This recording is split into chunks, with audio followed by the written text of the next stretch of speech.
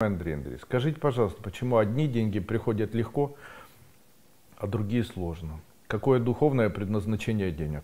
Духовное предназначение денег заключается в том, что денег у человека столько, столько, сколько стоит его судьба. Или сколько стоит его жизнь. Из чего состоит жизнь? Жизнь состоит из того, какие чувства создает человек по отношению к себе, какие чувства создаются в его семье и какие чувства создаются в мире.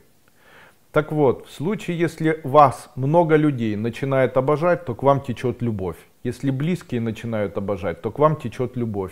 Если вы начинаете обожать себя, то к вам течет любовь. Чем больше любви течет к человеку, тем больше денег вы зарабатываете. Количество денег. Стоимость денег это стоимость вашей жизни. Если вы счастливы, если вас обожают, а как определяется стоимость жизни? Если человек умрет и за его гробом пойдет целый город или целая область или целая, не знаю, страна, то тогда это увеличивает стоимость его жизни. Если человек умер и никто не придет, то тогда и эта стоимость жизни, она варьируется, и она каждый день появляется. Это стоимость жизни человека.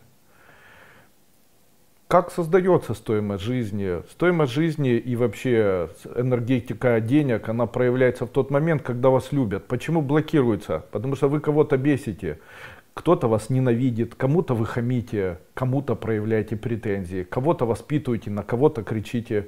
Денег нет. Ну так, попробуйте прожить как я. Делайте так, чтобы вас обожали. Как сделать так, чтобы вас обожали? Не знаю. Пробуйте, у каждого своя судьба находите свои пути.